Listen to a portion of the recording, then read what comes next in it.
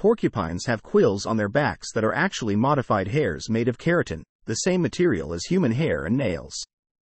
Porcupines are known for their sharp quills, which are actually modified hairs made of keratin, the same material as human hair and nails.